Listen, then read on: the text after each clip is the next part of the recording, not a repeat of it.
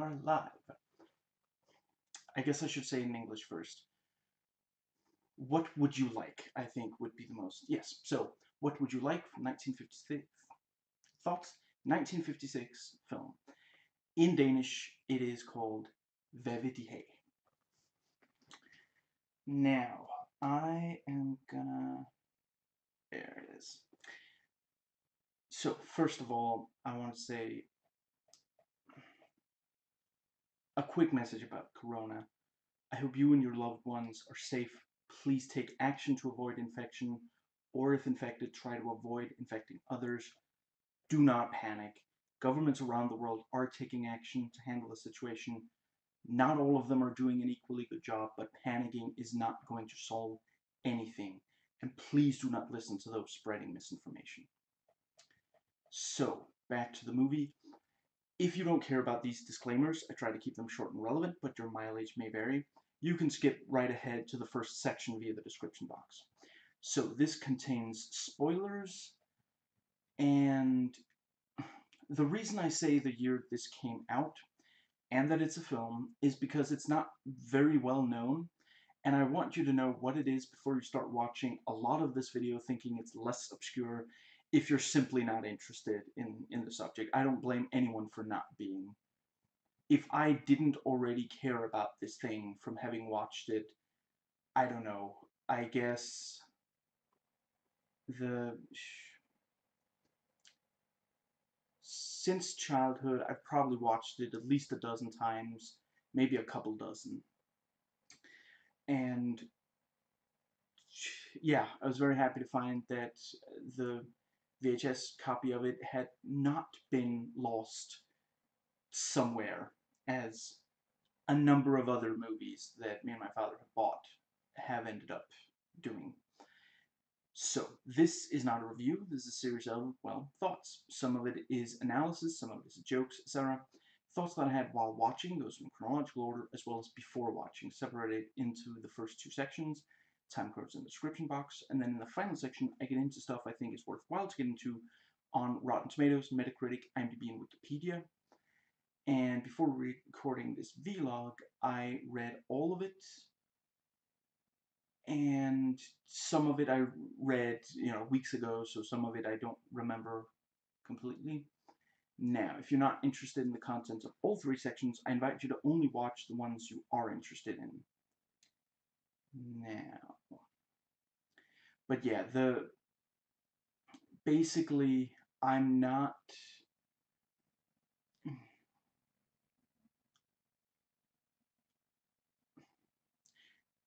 I am basically going to describe the contents of this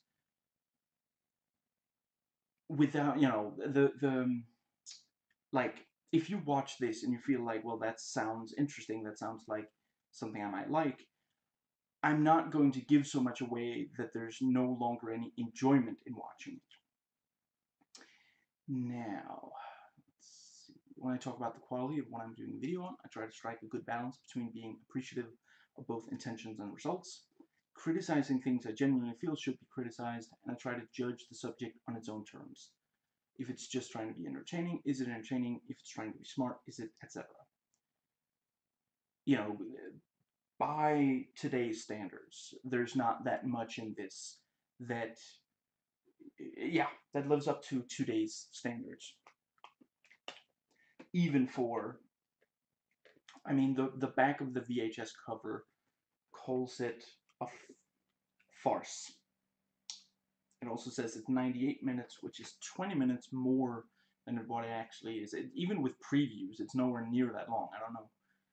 I, I don't know. I guess they looked at the number that someone had noted that it was, and they were like, there's no way it's that short. It's got to be like off by 20 minutes or something. I, I believe there are other movies from that time that are under, you know, yeah, it's it's 78 minutes if you don't count the end credits, 80 if you do count them. So, let's see. Now, this, yeah, I, I didn't spend any money on this. It was something that most likely my father bought when I was a child. So anything negative I say in this video is not out of bitterness. So, let's see. Yeah, if I had to guess, the first time I watched this was probably... Let's see.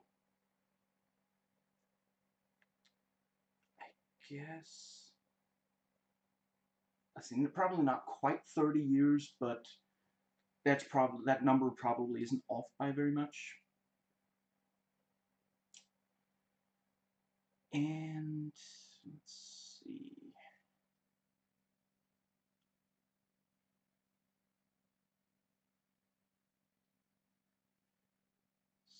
So yeah, since this movie has probably not been seen by all that many people worldwide compared to many of the other movies I talk about, I'm going to try to describe what's in this movie so that it doesn't sound confusing to those who haven't watched it yet, and so that you can gauge, I mean, no one's going to buy this on VHS today. I don't know if it's on DVD, possibly, but yeah, basically, I the first section of this video, I'm going to try to give you an idea of what you would be paying for if you buy this, if you buy a copy of this today. But do not make this the first thing you've seen from the 50s. And, you know, and, and definitely don't make it the first thing you see by these performers. They've done more substantial material, you know, in, in other movies. This is basically if you really like Danish movies from that time period and these performers, you know, you might enjoy it. I mean, you know, like I mentioned, my father bought this. I'm not certain if he watched it when he was young, when it first came out, but the uh, certainly he watched a lot of the other material of several of the performers and they yeah basically you know and and he had seen things from back then. He had he did watch things back then. So let's see. So my own quote-unquote film critic rating for this if you go by the standards of the time a 7 out of 10. My personal rating is an 8 out of 10. I really, you know, if I watched it for the first time today, maybe it would be uh, lower. If I didn't have any kind of emotion, like, if this was the first time I saw these performers, this really wouldn't mean very much. You know, it's it's that sort of thing. When you see, when you recognize a performer, you know, it's like, oh yeah, I really like them in this and that other thing. So it's, yeah, Okay, and that brings us to the first section. Notes taken while watching. So before I get more into detail, the humor is verbal, physical, corny, and goofy, and there are jokes about male-female relationships, sex, family relationships, certain kinds of jobs and situations, it's it's fairly varied, but it is all the kind of humor that you would see back then in stuff from this time. And I yeah, let me briefly basically I don't think I'm going to make let's see yeah, I'm, I'm just going to pronounce these names in Danish. I...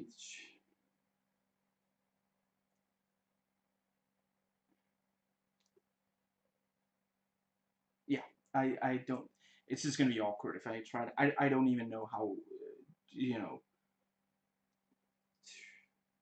how, how these names would be pronounced in English. I don't think I've ever heard them pronounced in English. But as a brief, the, the two stars are Dirch Passer and Kjeld Petersen.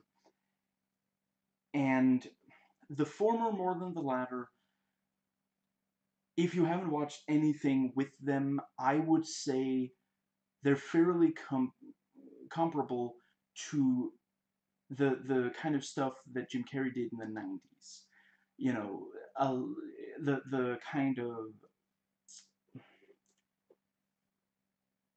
like broad kind of of physical humor and yeah, that that sort of thing. Yeah, you know what? I'm just gonna start by straight up reading. Okay, so yeah, just there's not a lot of stuff on the cover, so this isn't gonna take long. Yes, this is the greatest, yeah, the biggest Danish movie ever produced. 32 popular actors, and yeah, so yeah, I'm just going to list off. These are, yeah, these are probably the most famous names for it. Buster Larsen, Urs Paul Hagen, Max Hansen, Marguerite Viby, sorry, Ole Monty, Preben Mahrt, Bodil Steen, Birgitte Reimer. And the, let's see, yeah, basically that is yeah. So the movie opens with joke credits that would make Deadpool blush. So the the first scene is the two screenwriters, Dirch Passer and Kjeld Petersen and the basically their names are slightly, you know, I think Eh, yes, I, I believe Dirch Passer becomes Dirksen, Kjeld Petersen becomes Kjeldsen. So basically, Kjeld Petersen, they they just yeah, you know, they added the the last three letters of his last name to his first name, and you know, with Passer, they took those last and and you know, son means in Danish exactly what it means in English, son of. But but yeah, the two screenwriters and the director I don't offhand know who the director is played by. They're being told by, I mean, they they call him the director of the company, but I don't. Is he supposed to be the producer? I, I don't know exactly, but the let's go with company owner. They have two days left before they have to start shooting, but they don't have any of the script. So, you know, they yeah they have these uh, two days left to ask basically every different type of audience member what they want and get some material for every single one of them for the movie so that there is something in there that will appeal to everyone which i mean it's pretty incredible how accurate this actually is to like movies today where there is all kinds of stuff in there and it's like okay so clearly that was there because they wanted to pander to a certain audience. I they probably had no idea how accurate it was going to be. They they probably just thought, wouldn't that be silly if someone actually put stuff in? I mean, if there is one sort of central thematic joke to the movie, it is definitely there's no way to appeal to all of these different people. You know, basically it's a series of sketches, and very clearly the sketches are each written with you know very specific people in mind. And yeah. And and that's the thing. Again please don't make this the first danish comedy from the, the this time period that you see because most of them are more not all of them are substantial but there are very few that are this unfocused. You know, they tend to have a specific plot, a set of characters. You know, honestly, Danish comedies from the time are not that dissimilar from American comedies from the time. There are definitely some differences. I honestly don't think I've watched enough American comedies from the time to properly explain, describe the differences but based on the ones I've seen, it's there. There are a lot of you know there are a couple of cultural difference based differences. You know, as as much as uh, Denmark is always trying to copy American culture, there there's stuff that we didn't take. Now, let's see. And they're actually in that first scene. There's a joke about there's there are several jokes about how if you pay someone to write something, the like they will they will keep postponing doing it and you know they'll spend the money they'll maybe ask for more money to write it i had no idea when i first watched you know i watched it just before starting to watch starting to record it's been years since i last watched it and in those years i've heard lindsay ellis joke numerous times that writers of books and plays and movies always ask for a lot of money up front, spend the money, and then postpone starting to write.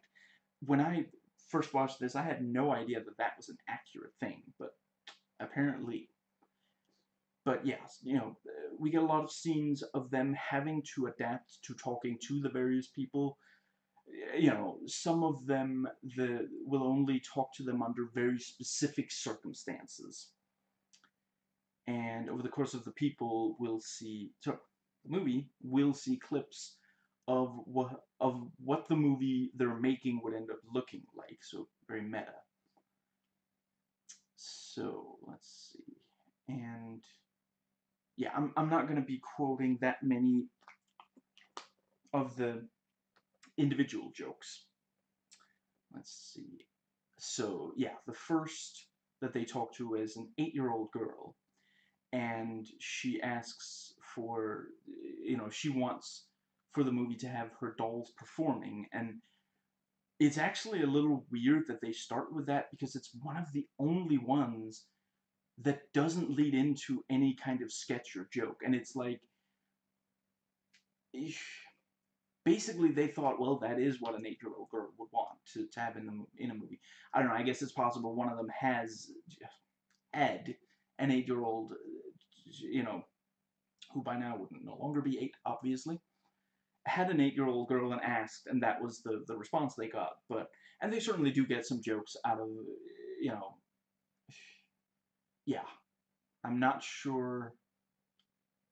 Yeah, I, I don't think I'm gonna I'm gonna quote any of them, but they they get some jokes out of, you know, what would an eight-year-old girl say if you asked her what she wants in a movie, and but but yeah, for some reason they started with that even though it's one of the only it kind of it doesn't really set up the expectations for the rest of the movie all that well because it's one of the only times where come to think of it, it might be the only time where they talk to a person about what they want in a movie and it doesn't lead into a few minute sketch of you know basically what it would look like if that thing was in the movie. You know, for the for the rest of it, I I honestly don't know for sure because I've only seen them you know collected on VHS and DVD. I guess a lot of them were put on TV or something, but some of these performers did do a lot of sketch comedy in, you know, the 50s and 60s and so and I think this is the only movie that has like there, there are a couple of the other ones where there'll be like a scene. Okay, that's a sketch, you know, like ah, let me think. Three men on a raft, I think it would be called in English. Tre mænd på en tømmerflåde, which is on YouTube. Nobody remembers that that's actually from a movie nobody remembers what movie that's from. And I don't even right now remember, you know, but everyone that, you know, not everyone my age, but everyone, you know, who has a family member my dad's age has seen that sketch and loves it because it's amazing.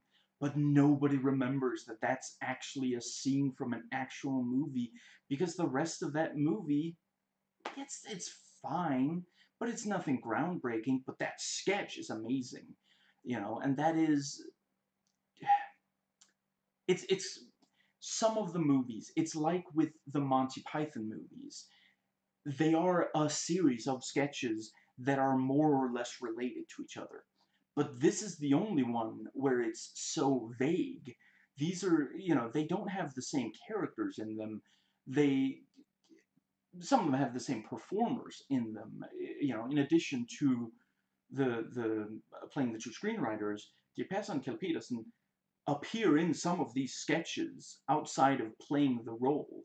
You know, and then a lot of the sketches are other characters, and there really there is nothing tying this together other than the idea that basically we're seeing the movie being imagined. You know, they're they're yeah, they're they're imagining what the movie would end up being, or I guess we're getting a glimpse of what the event. You know, they're it's not. This is not one of the movies where it then ends with showing what the actual movie.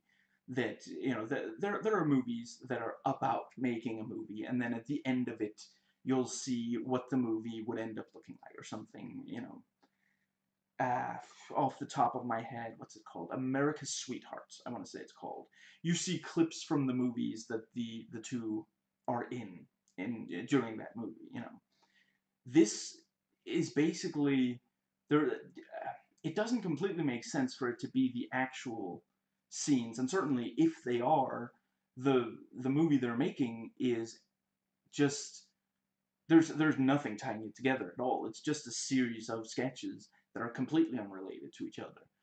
You know, at least in this movie, in not the movie they're making, but this movie specifically, there is the red. Uh, ah, sorry. What's that called in English? See, not being multilingual isn't always as easy as sometimes it maybe looks. Because I gotta remember not to my audience for this video will be even smaller if I do actually speak Danish, very much of it. So it's only to be for the names.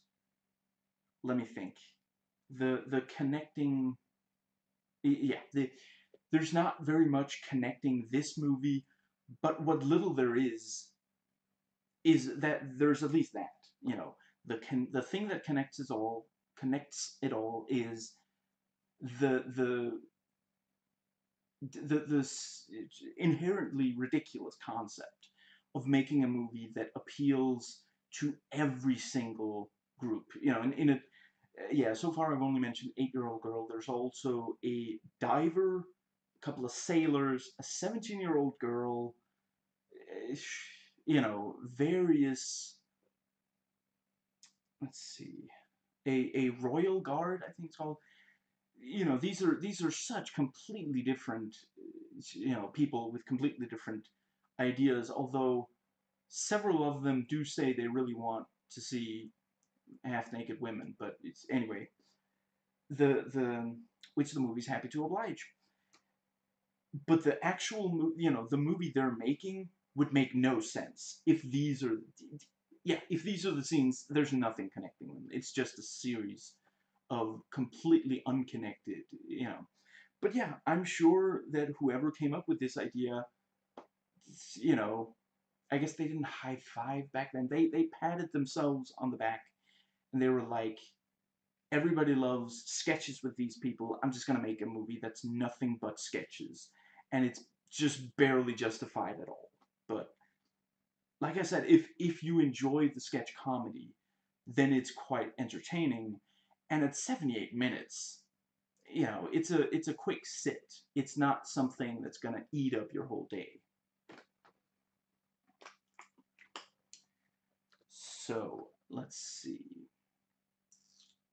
Right and yeah one of them one of the the screenwriters goes to talk to to some sailors and eh, you know you have the really obvious joke that they're supposed to go around asking what would you like of all these different people?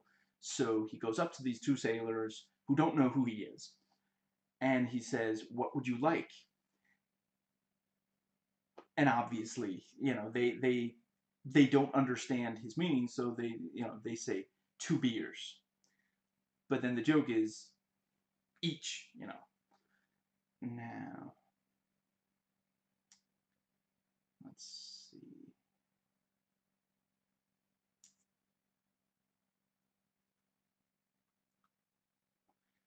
And yeah, the the um, just under 10 minutes in, the movie has bare-legged dancing girls, maybe a dozen or so, justified by nothing other than the sailor showing he has a tattoo of a woman like that on his belly and says she should be in the movie.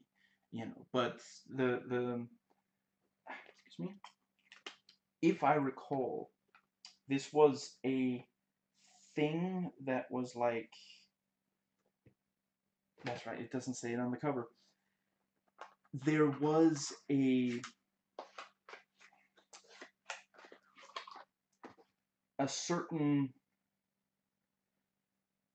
let's see i mean he didn't only make movies he also did like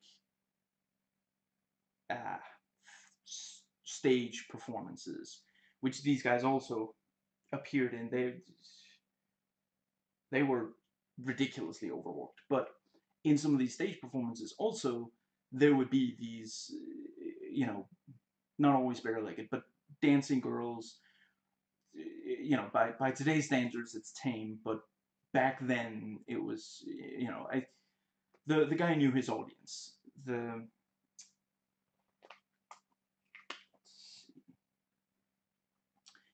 So let's see. Yeah, and Dirch Passer is supposed to talk to a 17 year old girl about what she wants to be in the movie.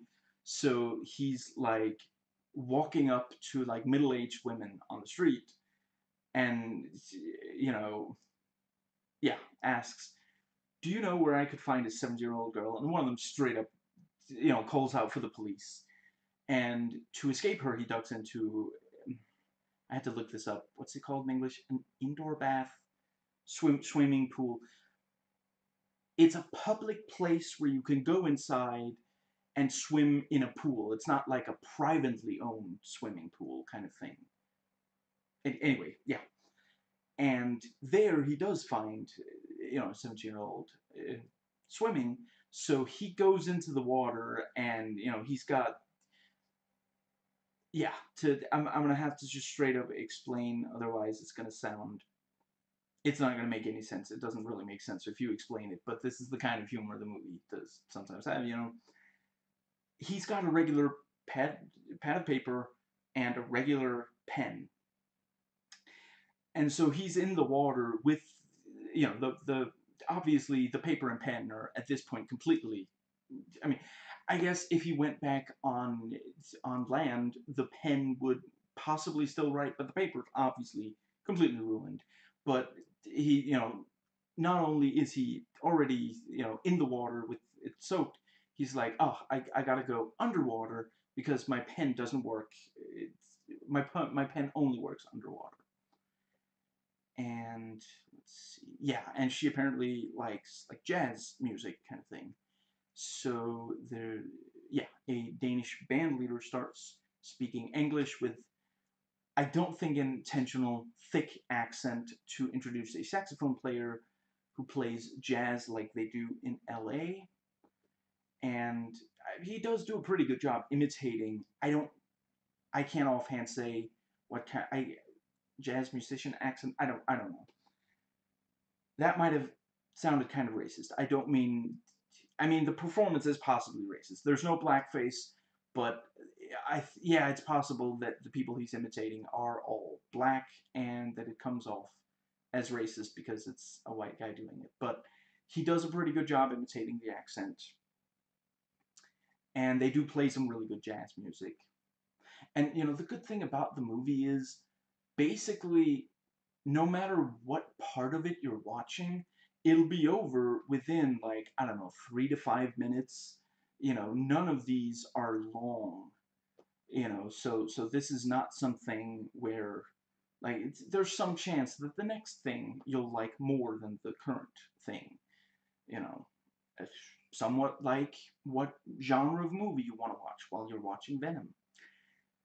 Eh, you know, this is if you, you know, you um, one thing to to avoid because it really just gets completely mired in the kind of thing. It, I don't know. I guess people back then wanted it, but there's a Danish movie called The Green Elevator, Den Grønne Elevator, also with Kjeld Petersen, and that movie is just one long series of it's it's just it's actors pretending to be drunk.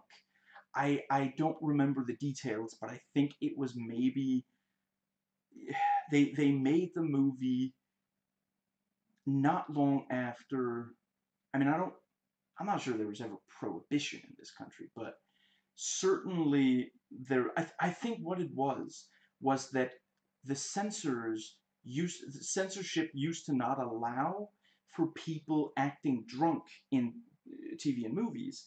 And when the censorship you know eased up on that and said okay fine you can act drunk in movies there was a real appetite for that sort of thing. And they really they they put all their money on that because that is the only thing there is in maybe not the absolute only thing but it the amount of screen time of that movie the percentage of the screen time that is just people acting drunk. I mean we're not talking like different you know sight gags and such. No it's just people slurring their speech and walking funny. Like it's as if like imagine if the dinner for one that's what it's called in english if dinner for one wasn't particularly funny and it went on for like an hour or something 45 minutes an hour i think of that is just people acting drunk it's yeah anyway see. Yes, and the band also do a, a, really good job imitating like the body language and facial expressions of jazz musicians. And I think to be fair, like I don't I don't think they realized that it was kind of racist to really like imitate black people like that and they're not doing it in a way that makes black people look ridiculous. I think you know, it's it's important to remember that you know, Denmark really doesn't have the kind of history with slavery that America does. And thus, I mean, it's not only America, but Den in Denmark, black people were never seen as eh, I, I don't know if never is the I think you have to go very far back before you find a lot of Danes thinking that like black people are like that that they all conform entirely to stereotypes and for example that they're not as smart as white people i i don't think there's a lot of that in in danish movies and and such even if you go all the way back to the start of Dan- of, of cinema now yeah, so Dirch Passer talks to a again, I believe it's called Royal Guard. I've yeah, it's been many many years since I last had to refer to one of those in English. So anyway, he says he won't let a civilian into the area, only military personnel.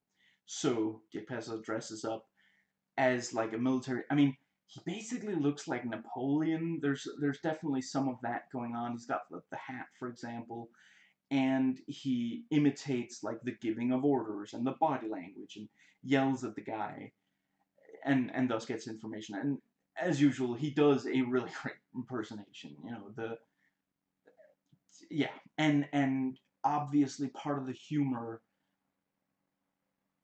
I don't know with 100% certainty but I believe at that time you did have to serve in the military at least a little I don't think it meant that you had to, you know, go actually fire a gun at another human being.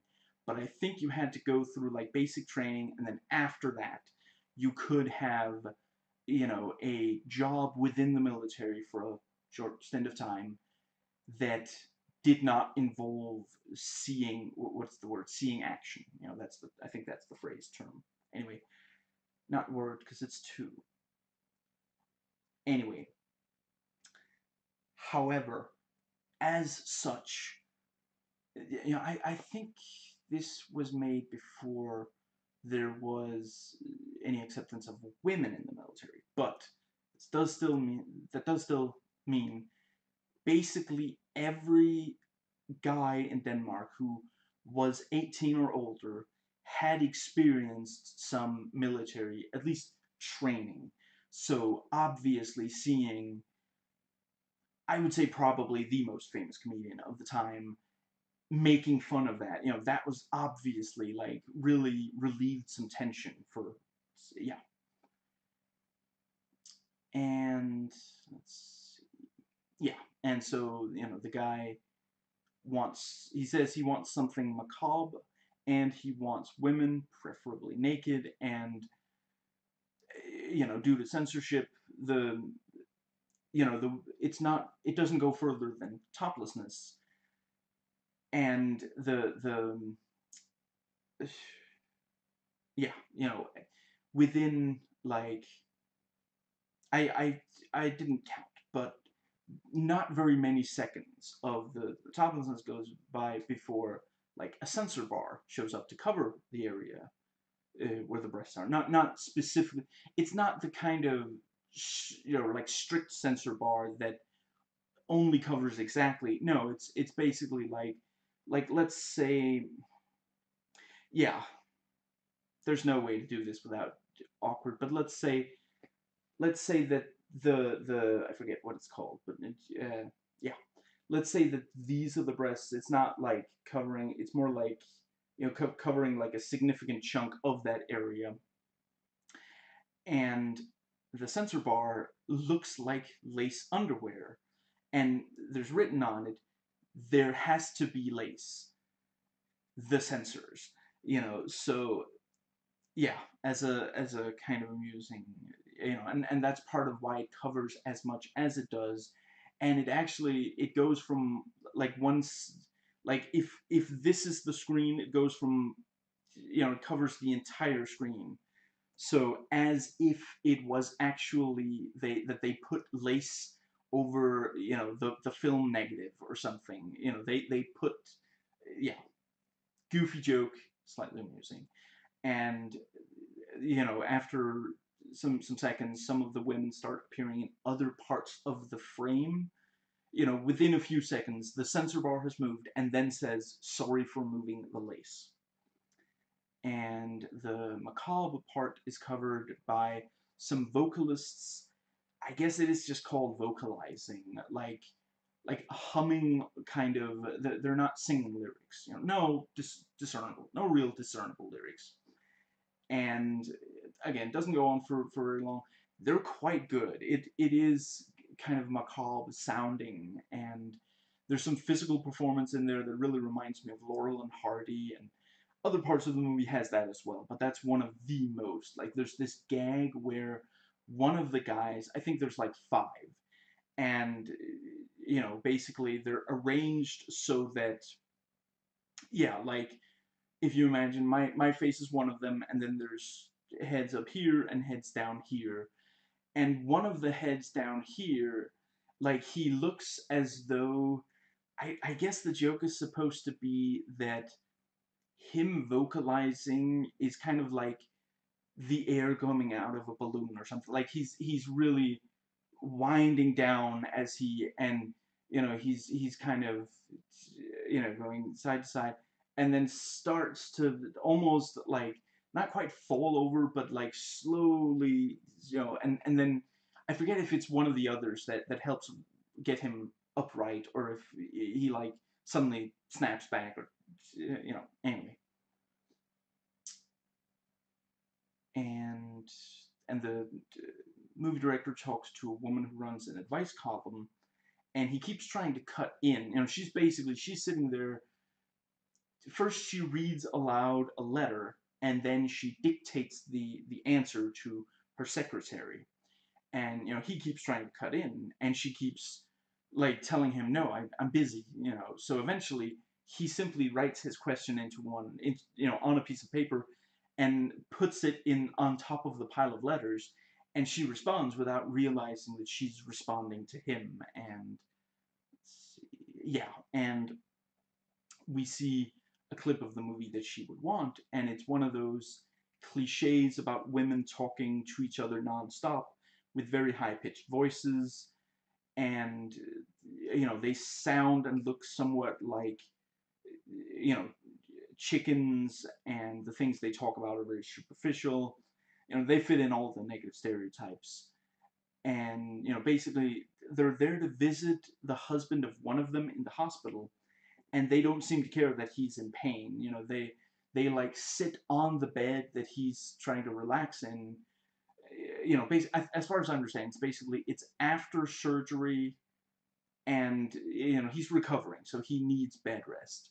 And they basically like sit on the bed and and like push him a little in in the bed and sit right up next against him. And there's a part where you know they they one of them leans over him and they do like um, exercise you know to you know exercises for getting in shape kind of thing. That in a in a way that that um, yeah it's it's hard to describe i guess. Yeah yeah basically in a way that you know would be uncomfortable maybe even painful for him and then at the end it turns out oh they're actually in you know the room it's it's the wrong room. And they're like why didn't you tell us? And he's you know he's been lying there trying to get rest. So it's it's that really obnoxious stereotype that you know women just won't let men get the the rest and you know peace and quiet that they need. That we need sorry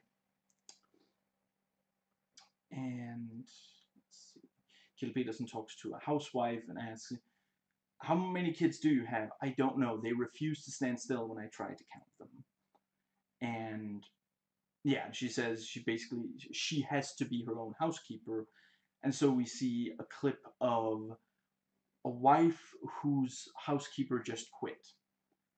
And basically, yeah, and, and the husband keeps blaming her for the housekeeper leaving and, you know, yeah, basically, like, blames her for things that she couldn't possibly have prevented. But she does get to object and point out that it's not her fault. Eh, you know, I, I would say the, like, the writing is more on her side than on his it it's basically making him out to look bad. Basically, the scenario is that he's invited two of his friends over, and they can't. You know, it's the housekeeper just left. You know, it's impossible for them to get a new housekeeper in time, so she has to be the housekeeper instead of the wife. And the two friends immediately start perving over the housekeeper, not knowing that she's the wife. They they think she's single and and one of them's oh, Egon Olsen from Olsenbanden or the Olsen Gang. I used to know the name of the other one, but I've forgotten. And it's it's really wild. He has so little screen time that like let's see, was he headlining movies in 1956? I think so. I think he was the star of some. Now,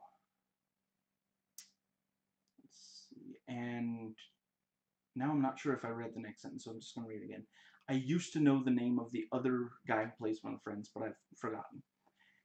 And the two friends talk about what a horn dog the husband is, not knowing the housekeeper is the wife, and she'll be upset by it. You know, it, it's that stereotype of the man, the moment that the he, you know, the moment that he, the wife, if he thinks that he can get away with it without his wife finding out about it, he's going to flirt with other women and try to get, you know, basically try to cheat on her.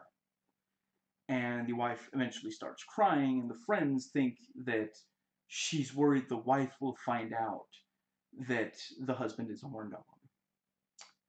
And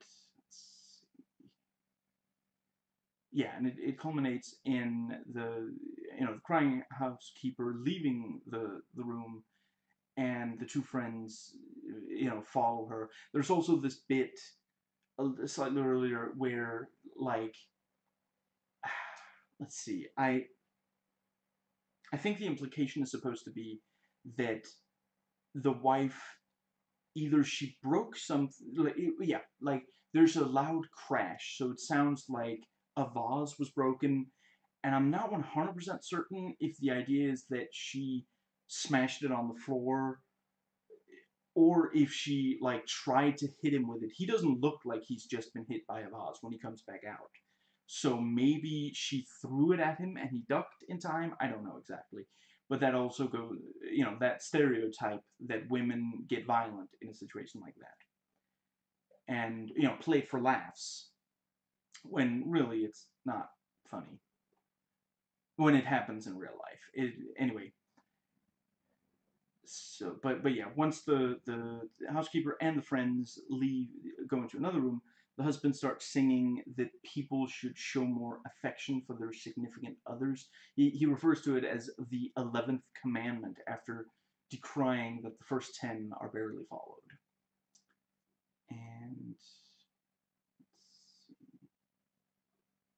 and Jake Paso talks to I uh, I don't know exactly what the name of, the, I, I guess a professional diver. While the person is underwater, through a phone, and then he acts like he gets swim, like, the guy who's not underwater acts as though he get, like, he's you know, holding up the phone, then he's like, ah, like, as if he got swimmer's ear through the phone. And the, and the scene becomes that Jake is playing a sailor who sells books and there's various I mean basically they wrote a bunch of like excuse me a bunch of fish puns. You know puns that combine fish and books and such. And and some of them are just book puns. Like there's a ah I forget if that's only a Danish phrase or if it's also in English. There's there's a bit about where like you know this is a, a brick novel and the you know there's there's an actual brick in there and yeah. And and, and a middle-aged woman comes to complain about him selling filth and they do some like record stuck repeating jokes like where she keeps like trying to point to indicate of a book and and saying that filth or something like that and and she keeps like trying to to like move move her hand but she she's like stuck and and so he like t- takes the the hand and puts it back and like down in the in the record groove you know. Yeah this is really there there's definitely some stuff in here that you don't get if you don't know technology from when it was made you know i I, I don't know if we still have it, but my dad still had his old record player when I was a kid, so I know exactly what a record player. I, I've I've started and stopped a record player that where you had to put it in the groove or pick it up from the groove and such. So, but some of these jokes for for today's audience, you really need to know. Yeah, and and the director talks to a delivery man, and the delivery man you know, af- after that, the delivery man sings about his job, and th- it's supposed to be that he's driving, but it's a really obvious green screen. I, I think people were probably more forgiving of that back then. I will say the green screen footage itself is not the worst I've seen. Like, if you don't know what you're, if you don't know that you're looking at a green screen, yeah, kids probably thought that they actually did film him while driving and he sings about how he doesn't want love, only casual sex. By today's standards, these really make men look a lot worse than women, which I think is the opposite of what was intended when they made it. I think you're supposed to laugh at the women and, uh, like, excuse me, feel kinship with the men, basically. And and then the you know the delivery man he's he's basically told to go see someone about uh, I think stage a stage show. And so he he does, and it's this guy who's got like tics and such, and he starts doing, you know, he he readies for a performance, and then he does the tics in time with music.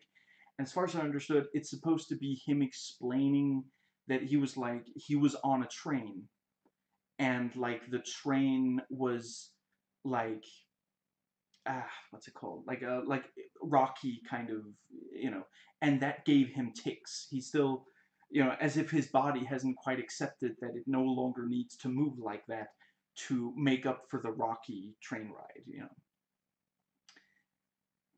and I guess I haven't it's it's been a little while since I've commented on the quality pretty much all of these are pretty well done for what they are, you know. Like today, honestly, I think this movie, I don't think that it's necessarily something no one would watch today.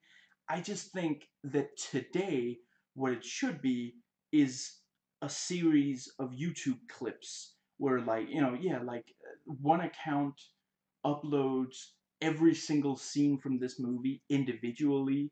And like each sketch also has the part leading into it where one of the two screenwriters or the director talks to a person explaining what the bit is supposed to be you know so that there's a little context there. I, th- I think that would probably be you know but but yeah these are all like the, the expectations back then were very different but yeah, like there's no the music is not made to be bad music. Like to you know sometimes there'll in in fiction there will be bad music and we're supposed to laugh because it's bad music.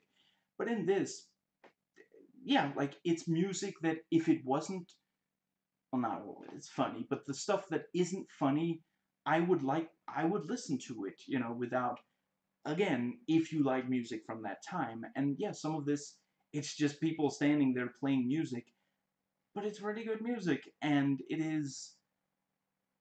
I don't feel like anything was like just phoned in for this movie. I feel like they did put effort into everything, and it may not have aged that well. I really need to stop saying that in this video. But it was it was pretty good at the time considering that the concept is inherently it's a it's taking I feel like it's probably easier to sit down and write a bunch of sketches with vague justification than it is to write a movie where you know the characters are consistent from start to finish and you give them stuff to do. There's stuff to you know, so it, it is the the excuse me. Ah, what's the word? It, it is easier.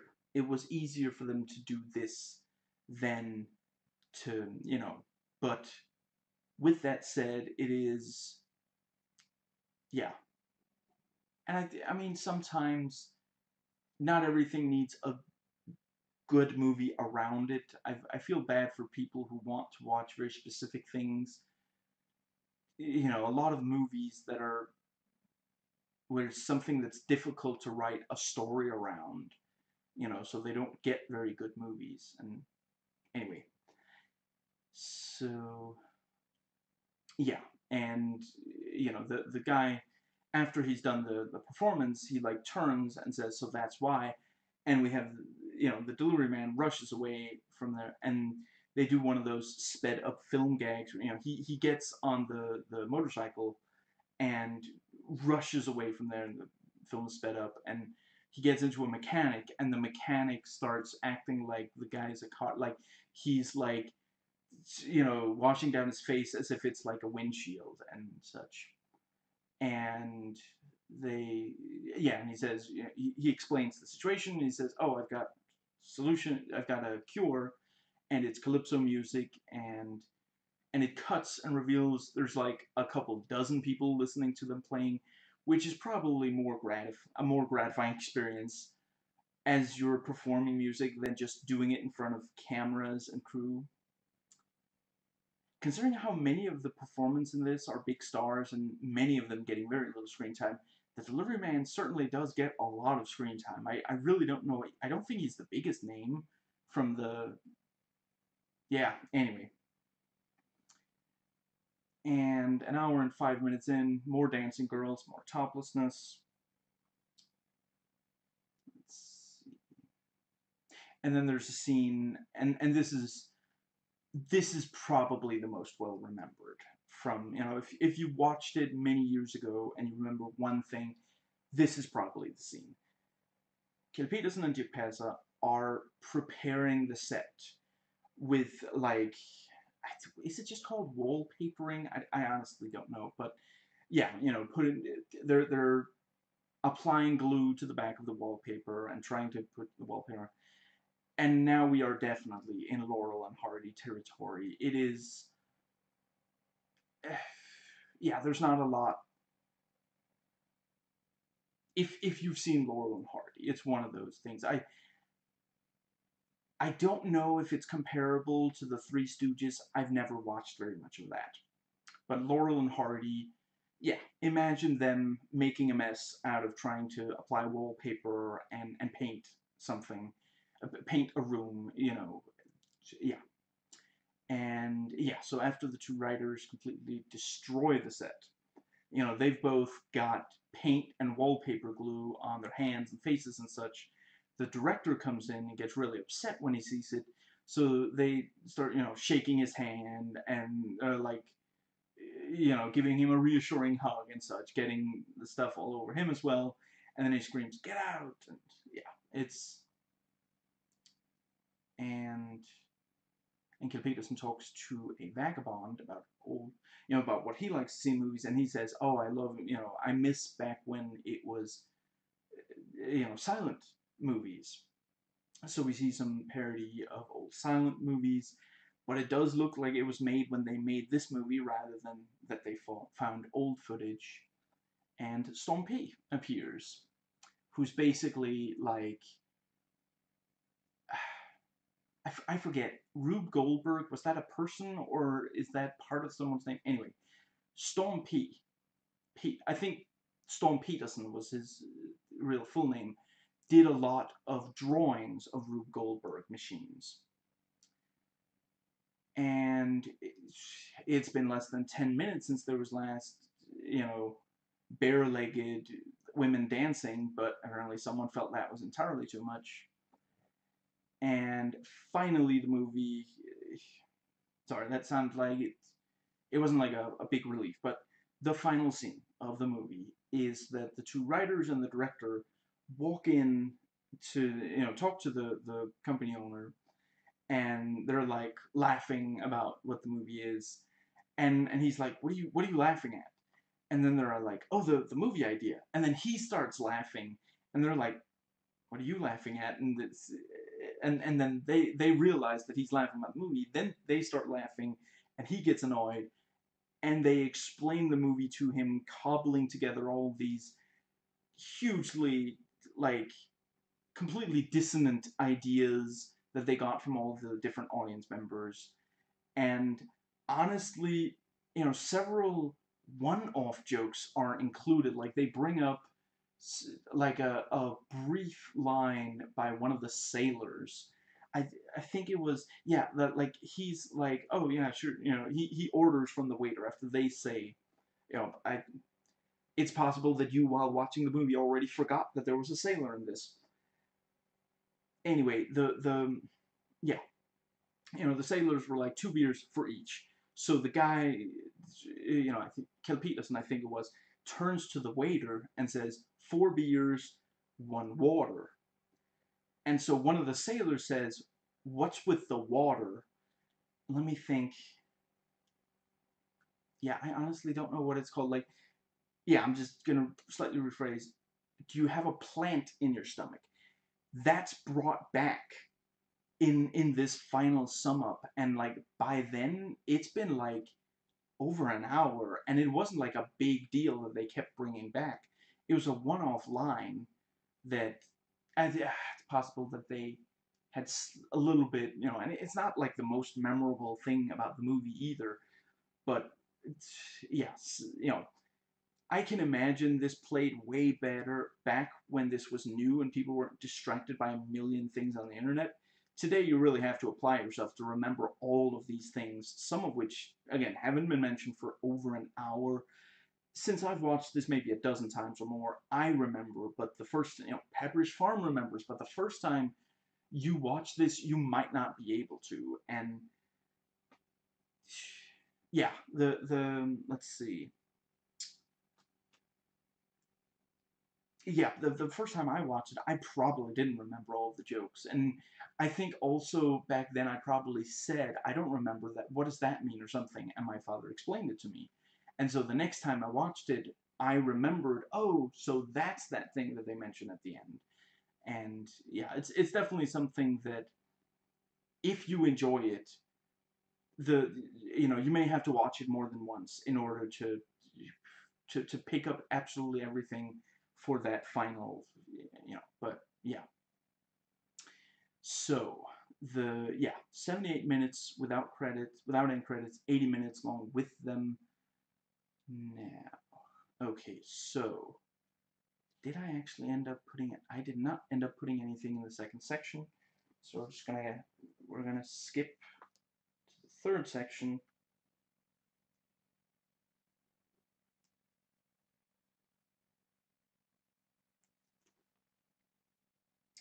Critics sites IMDb and Wikipedia.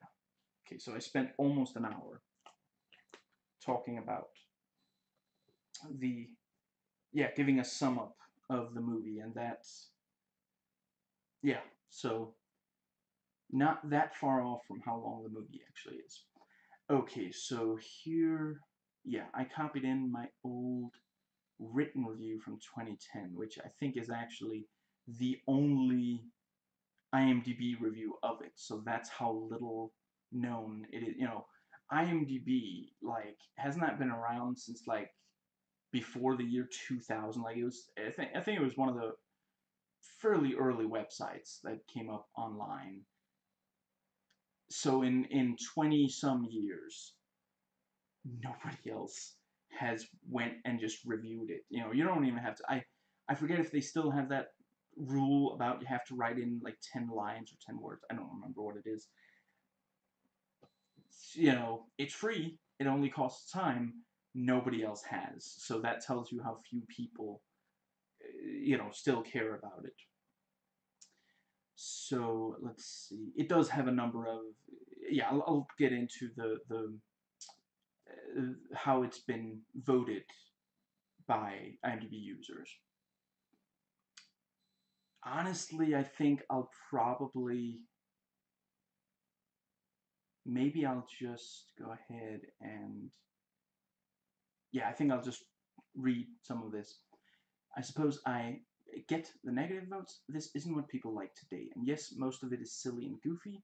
There are things that fit in nowhere and are completely random. It is by no means a masterpiece, and it isn't a flick that makes a lasting impression. The basic idea is that you see the two writers and the director asking members of the very different groups, age, job, gender, what they want in a movie, and then we see it am I the only one who gets a kick out of how meta this is, or representation of, oh, right, the, yeah, here I said the dolls becomes French chicks doing the can-can, presumably because they can, can, can.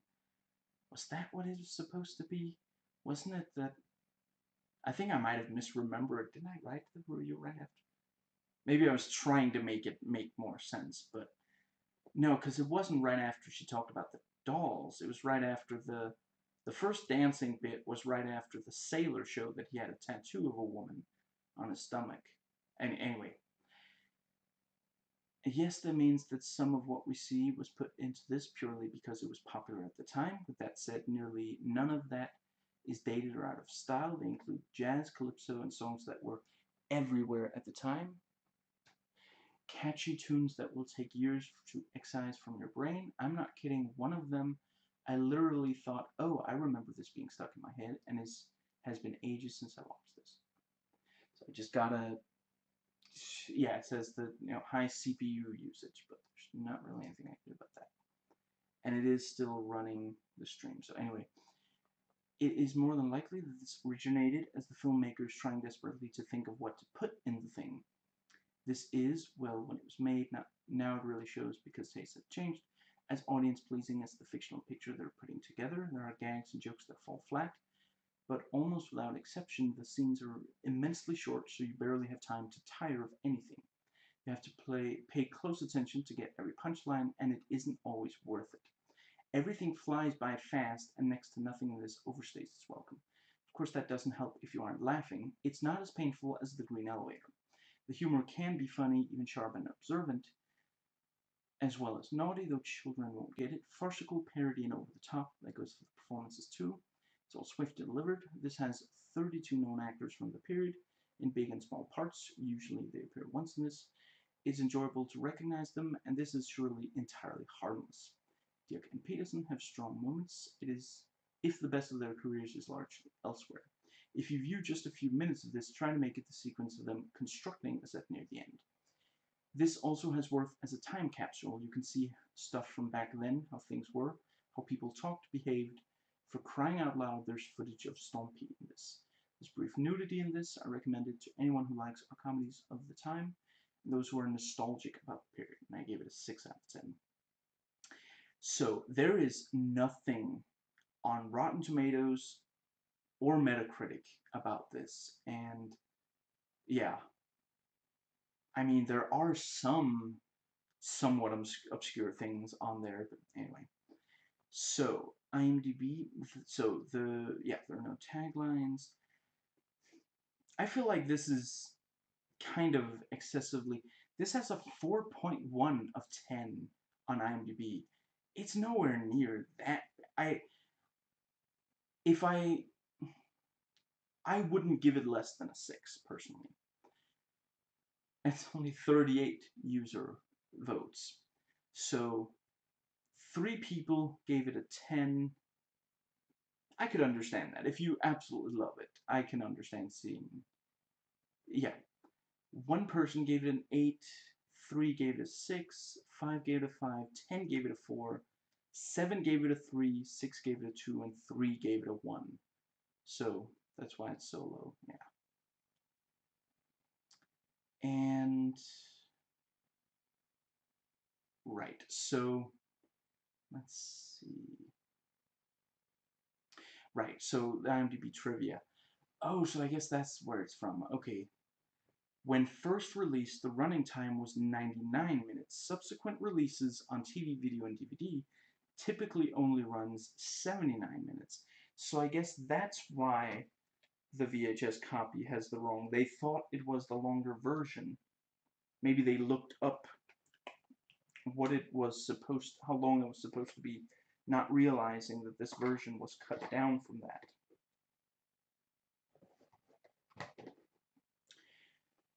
So, let's see.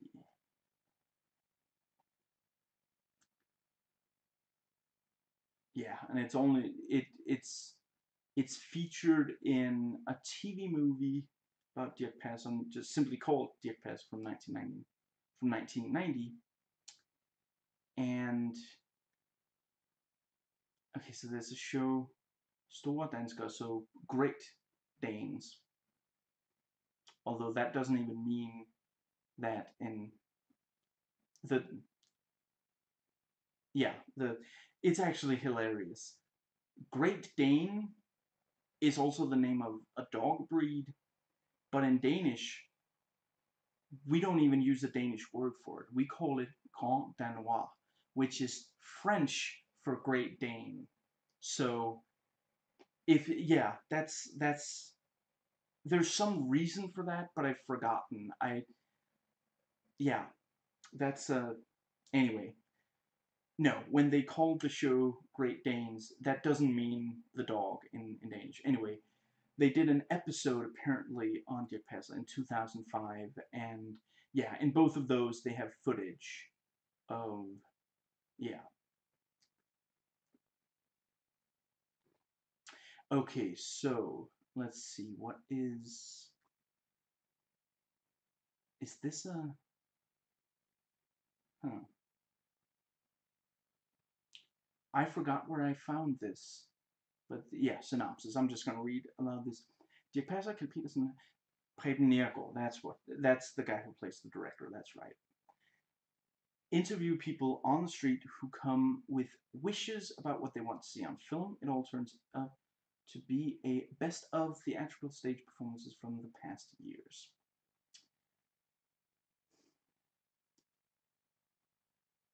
There is no Danish Wikipedia entry for the film. I seriously, people, where is the love for this? It's not some masterpiece, but it's not, it shouldn't be this forgotten. I seriously hope someone watches this video and either they're like, oh, I remember that, I could do with watching that again, or they're like, that sounds like something I might watch. You know, they're not paying me to, like I said, I don't even know if you can get this on DVD. Although I could honestly, if you live in Denmark, blockbuster.dk, I want to say it is, is a streaming service. It's, it's, I think it's basically like Netflix. I've never used Netflix, so I don't know for sure except you pay for each individual. There's no monthly charge. So if you don't watch very much, you're not going to be charged very much. Where with Netflix, you can watch as much as you want, and you'll be charged the same, which is why I'm never getting one, because I would get super neurotic about, you know, no matter what I'm doing, I feel like I should be watching Netflix, because every moment of every day that I'm not watching Netflix, I'm paying for something that I'm not using. So, I Blockbuster DK might well have it. I, I think that's a distinct possibility. I'm not, they're not paying me for, for this, but if you think you might enjoy it, I mean, I, I really, people, something like The Room has far more attention than this does and that is far more ineptly made. I think I've never, I never have watched that. I don't, I don't really seek out movies that are advertised as being so bad it's good. I don't really, anyway. If you like it, more power to you. I'm not, I don't have any problem with that. It's just not for me. I, I have way more interest in something that's well made even if the standards have changed so much that it's no longer seen as particularly appealing, like this. So, but yeah, this yeah, this this I believe is the the English Wikipedia page for it. So it barely has yeah, okay, so it's got some of the names of the people. Okay, here we go. Beverly Hay is a 1956 Danish comedy film directed by Jens Henriksen, Wait, it was actually directed by. Wait, so the actual director plays the direct. Okay, that's yeah, that's meta. Yeah, and it lists the different people playing the different characters and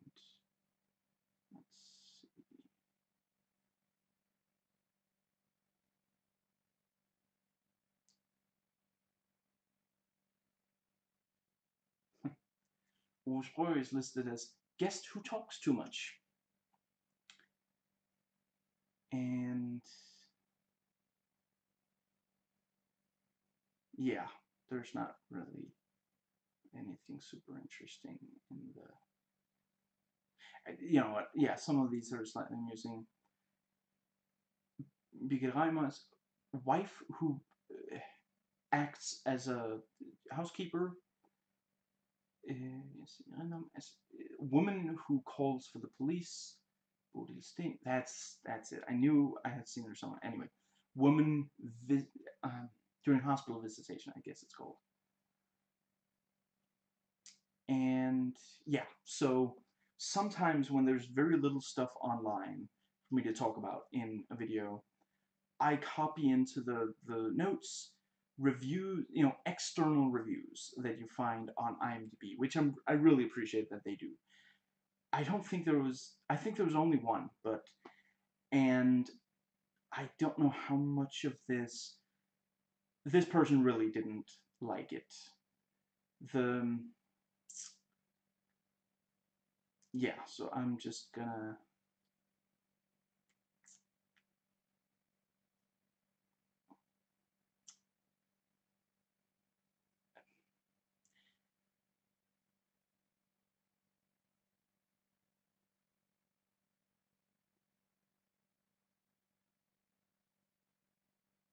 and yeah, so basically, I seriously this this reviewer says that the wallpapering scene isn't even a little funny. I I do not know.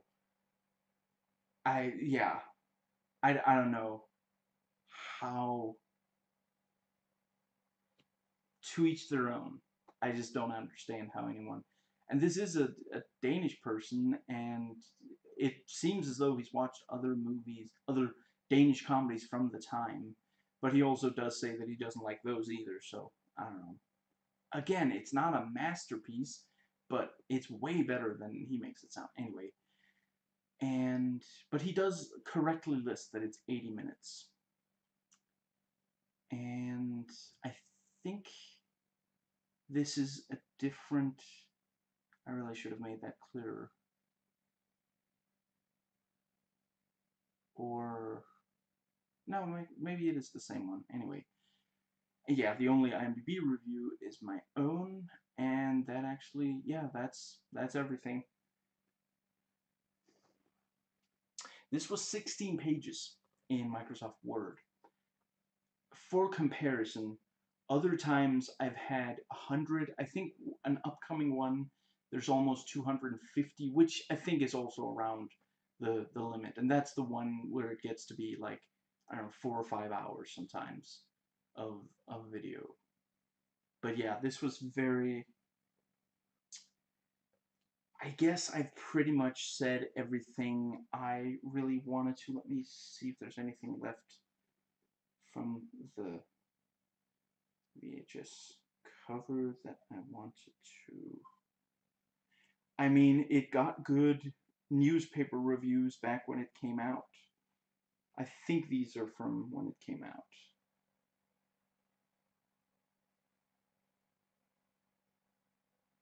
Yeah, it's it seems like yeah, this is people who watched in the theater. Yeah, I'm just gonna read it aloud it may become necessary to subtitle some of the scenes because the laughter was so noisy that uh, there was shushing. And I think that pretty well, yeah, I, I don't really have anything I don't know what this says about it. I, again, I try not to show the cover in these videos because I've learned the hard way that that really screws up the autofocus. Sometimes I do it at the end of videos, but this time I'm not even going to do that. yeah, the what they sell this on, I think this might be the original poster that they simply put on the cover of the VHS. It's it's the faces of Dirch Passer and Petersen with their names and then standing in between them is one of the dancing girls, or rather a drawing of it, of one of the, sorry, of them, of one of the dancing girls. So that was what they were selling it on. And then it says, you know, 32 popular actors and such. But, yeah, the and it actually it has on the back of it there's three promotional shots that are very I guess okay maybe this one is a frame from the movie but the other two are decidedly not.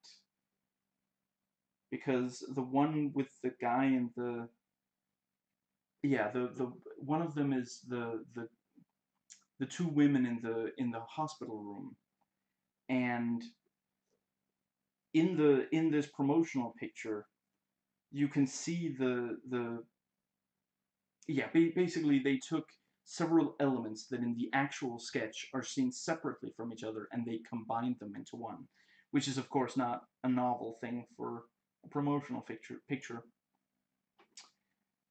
Yeah, I guess that covers it.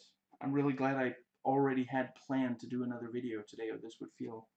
I, I know, for, for a lot of people, maybe most people, this is a long video. For me, it's very, very short. But yes, that absolutely covers it. So I do hope that this, you know what, if if you watch this and you were like, maybe this would be something, and because you know through hearing me describe some of it, you've changed your mind and you figure you're not gonna. That's great. I don't want anyone to waste their time. That's why I've been so careful to describe instead of usually I make videos based on the notion that someone had, not always, but some more, most of my more recent videos are based on the idea that you've already watched the thing I'm talking about.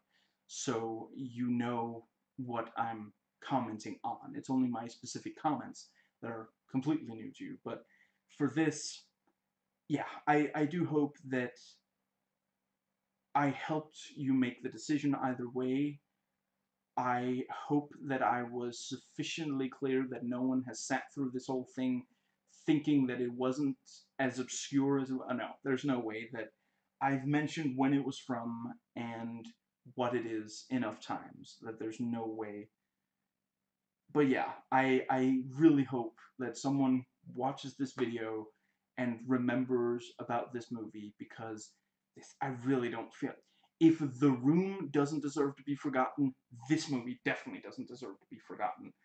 Way more competency and effort was put into this. I'm sorry, I know maybe I'm old-fashioned like that, but I do have more respect for effort and competency than accidentally making something that's enjoyable. Anyway, I hope you enjoyed watching, as I enjoyed watching and recording, and I'll catch you next time.